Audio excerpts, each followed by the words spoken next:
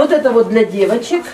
Вот. Вот это вот все для мальчиков. Посмотрите, тут есть костюмы школьные, белые рубашечки, все. Наталья Олеговна – многодетная мама. У нее шесть сыновей. Один из них уже вырос и обзавелся своей семьей. Остальные ходят в школу. По словам Натальи, подготовка к учебному году не всегда только приятные хлопоты. Каждому нужно купить школьную форму, канцелярию, обновить рюкзаки. За год становится маленькой обувь. На все попросту не хватает средств. На акции Наталья побывала впервые. Узнала о ней от работников центра. Они заранее оповестили ее по телефону. Сейчас очень тяжело собрать детей в школу, тем более, когда они все ученики.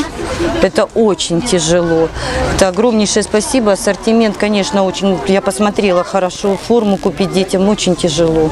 А сейчас у нас спросы такие в школе, что и форма, и все. Обувь, конечно. А мальчишки, они все занимаются у меня спортом. Баскетбол, гандбол, кроссовки. Это, обувь у нас летит. Это, это вообще караул. Тут после второго, как говорится, младшему уже не останется.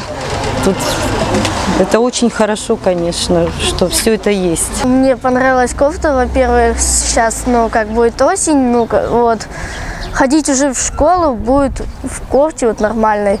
Мне понравилось в этой, ну, как акции, в ярмарке, то, что а, тут а, вещи вот хорошие, с этикетками, ну, а, они как они не лишние, они всегда пригодятся вот, и для младшего брата, и для меня, и для старшего.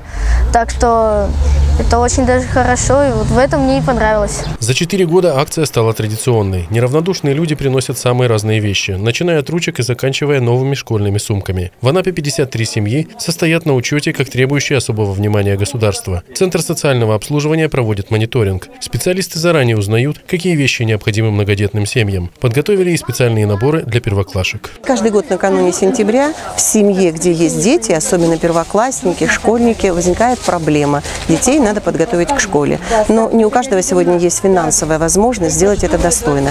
Поэтому мы благодарны тем э, предпринимателям, тем э, жителям города Анапы, которые участвуют в этой акции. То есть они сюда приносят вещи, передают их нашим специалистам, а уже жители города приходят сюда и без всяких документов, э, без всякого ограничения берут именно тот набор вещей, канцелярских принадлежностей, который нужен их детям. И считаю, что это большая помощь. И просто хочу сделать вот такую оговорочку, что эта акция «Вторая руки», она действует не только накануне 1 сентября, она действует круглый год.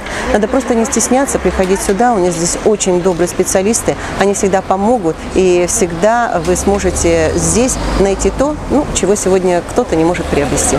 В этом году акция проводилась в двухэтажном здании по улице Советская, 134. Продлится она до 15 сентября. В будущем планируется открыть небольшую библиотеку для приема книг и учебников. Со временем смогут принимать и бытовую технику.